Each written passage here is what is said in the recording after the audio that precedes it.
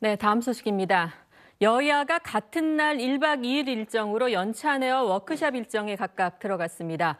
9월 정기국회와 내년 총선 대비 전략이 논의될 것으로 보입니다. 김학희 기자입니다. 인천에서 연천회를 연 국민의힘은 9월 정기국회 대응 전략을 공유하고 총선 필승을 다짐했습니다. 김기현 국민의힘 대표는 내년 총선은 대한민국 운명을 좌우하는 중요한 선거라고 강조했습니다. 그러면서 최근 당내에서 불거진 수도권 위기론을 언급하며 좋은 인물을 내세워 총선 승리에 기반을 만들겠다고 했습니다. 이번 총선에서 승리할 수 있는 좋은 인재라 그러면 삼고 처리가 아니라 십고 처리를 위해서도 적극적으로 모셔야 된다고 저는 생각합니다. 국민의힘 연찬회에는 추경호 경제부총리와 이주호 사회부총리, 원희룡 국토교통부 장관 등 장 차관들도 대거 참석했습니다.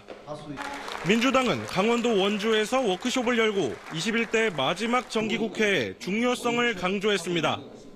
국회 다수당으로서 우리 민주당이 앞장서서 정권의 무전지한 폭주를 바로잡고 민생 회복의 불씨를 꼭 마련해야 되겠습니다.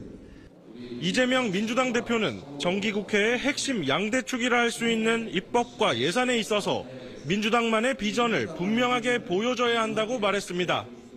민생 중심 입법과 재정에 책임 있는 역할에 대해 당력을 총 집중하고 국민들의 의혹 사항에 대한 진상 규명에 힘을 기울이겠다는 겁니다.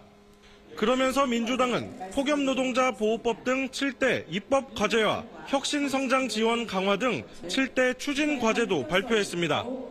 여야는 1박 2일 행사를 종료한 뒤 각각 결의문을 채택할 예정입니다. SBS 김학휘입니다.